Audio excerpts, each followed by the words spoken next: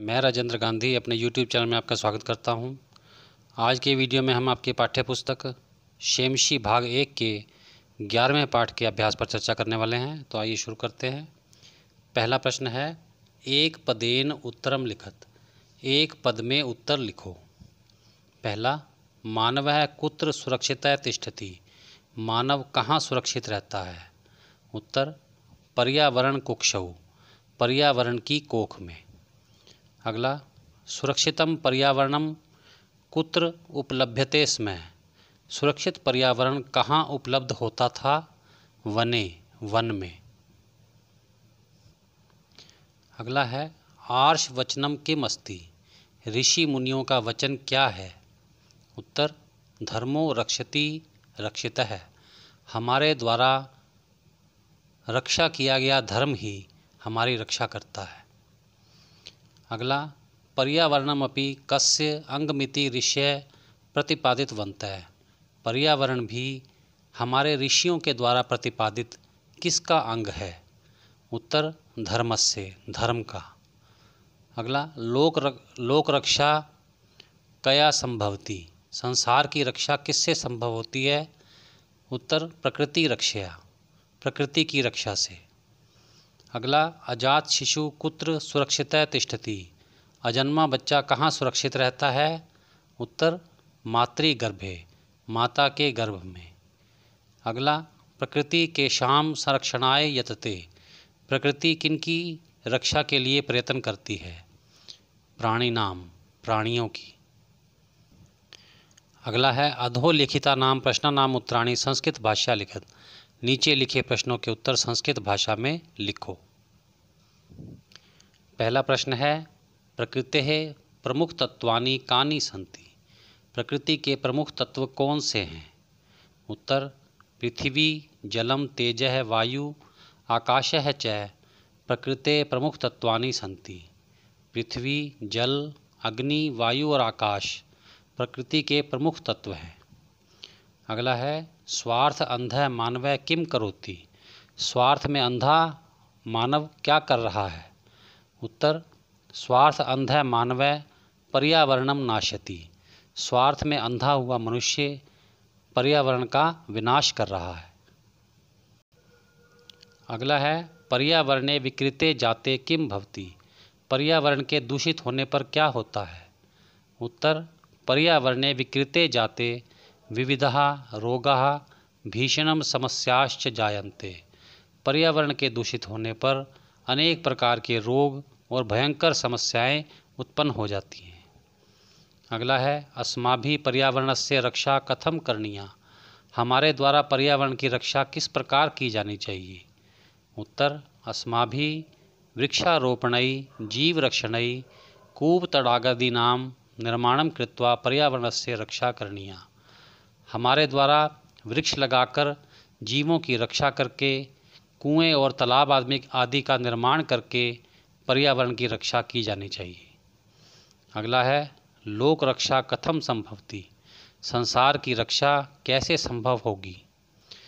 उत्तर, प्रकृति रक्षा एवं लोक रक्षा संभवती। प्रकृति की रक्षा से ही संसार की रक्षा संभव है। अगला है, परिष्कृतम पर्यावरणम अस्मभ्यम किम किम ददाती।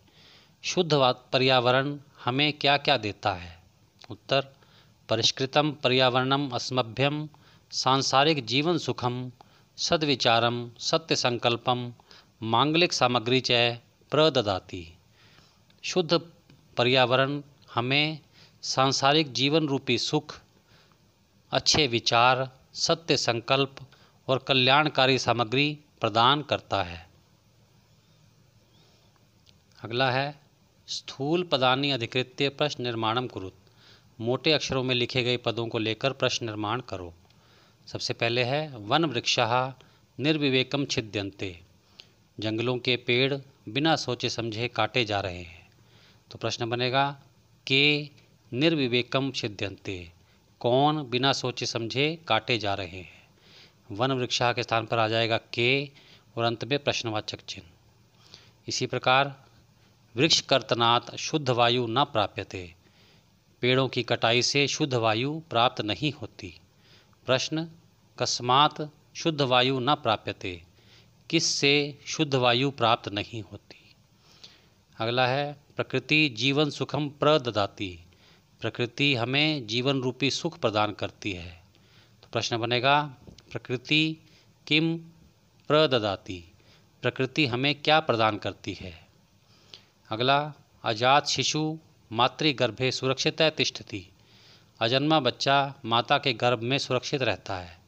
तो प्रश्न बनेगा, अजात शिशु कुत्र सुरक्षित तिष्ठति अजन्मा बच्चा कहाँ सुरक्षित रहता है? अगला है, पर्यावरण रक्षणम धर्मस्य अंगम अस्ति। पर्यावरण की रक्षा धर्म का अंग है।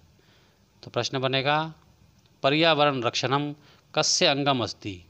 पर्यावरण की रक्षा किसका अंग है? अगला है, उदाहरणम अनुसृत्य पद रचनाम कुरुत। उदाहरण के अनुसार पदों की रचना करो। पहले उदाहरण है, जले चरंती इति, जल में विचरण करने वाले। उनको हम क्या कहते हैं? जल चराहा या जलचर। स्थले चरंती इति, स्थल पर विचरण करने वाले स्थल चराहा। निशायाम चरंती इति। रात्रि में विचरण करने वाले निशाचरा व्योमनी चरंती इति। आकाश में विचरण करने वाले व्योम चरहा। गिरऊ चरंती इति। पहाड़ों पर विचरण करने वाले गिरी चरहा। भूमऊ चरंती इति। भूमि पर विचरण करने वाले भूचरहा या भूमि चरहा।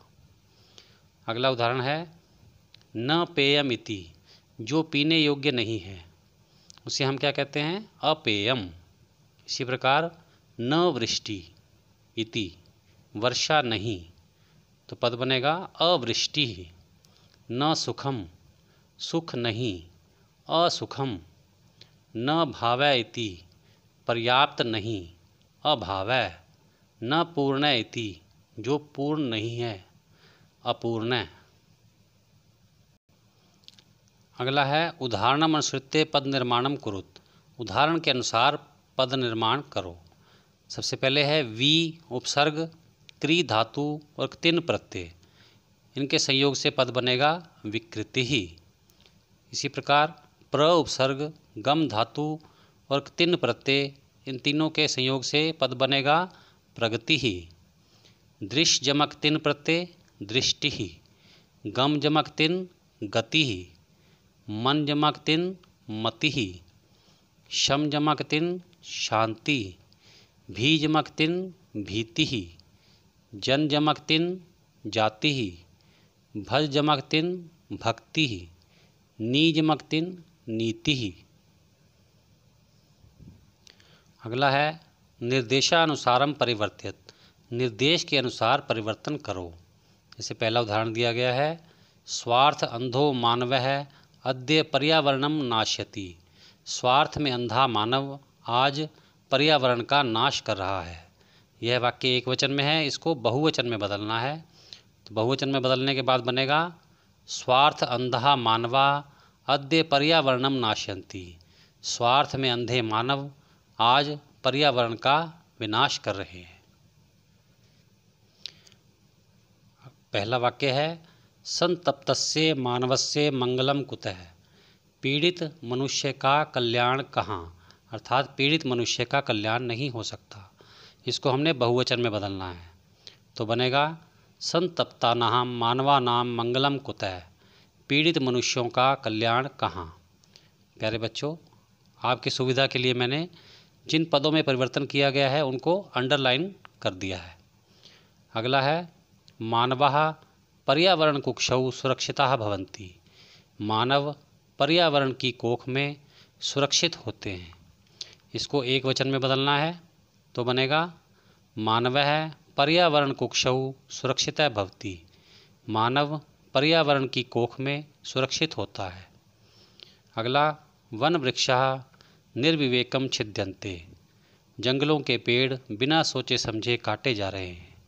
इसको एक वचन में बदलना है तो बनेगा वन वृक्ष है, निर्विवेकम छिद्यते। जंगल का पेड़ बिना सोचे समझे काटा जा रहा है। अगला है, गिरी निर्झरा निर्मलम जलम प्रयच्छन्ति। पहाड़ों से निकलने वाले झरने स्वच्छ जल प्रदान करते हैं। इसको द्विवचन में बदलना है। तो ये बनेगा, गिरी निर्झरऊ निर्मलम जलम प्रयछत है। जंग पहाड़ों से निकलने वाले झरने स्वच्छ जल प्रदान करते हैं। अगला, सरित निर्मलम जलम प्रयच्छति। नदी स्वच्छ जल प्रदान करती है। इसको हमने बहुवचन में बदलना है। तो बनेगा, सरित है निर्मलम जलम प्रयच्छन्ति। नदियाँ स्वच्छ जल प्रदान करती हैं। अगला है, पर्यावरण रक्षणाय भवंतः किम करिष्यन्ति। पर्यावरण की रक्षा के लिए आप क्या करेंगे? इति विषय पंच पंचवाक्यानि लिखत। इस विषय में पाँच वाक्य लिखो। पहले उदाहरण दिया गया है अहम विषाक्तम अवकरम नदीशु न पातिश्यामी मैं जहरीले कूड़े को नदियों में नहीं डालूँगा। इसके बाद पहला वाक्य है अहम निर्विवेकम वृक्ष छेदनम न करिष्यामी। मैं बिना सोचे समझे वृक्ष नहीं काटूँगा। अगला अहम समय समय वृक्षारोपणम करिष्यामी। मैं समय समय पर वृक्षारोपण करूँगा। अहम पशु पक्षिणाम आखेटम न करिष्यामी। मैं पशु पक्षियों का शिकार नहीं करूँगा। अहम अवकर कंडोले एव अवकरम पातिष्यामी मैं कूड़ेदान में ही कूड़ा डालूँगा। अहम तड़ाग आदि नाम निर्माणम करिष्यामी।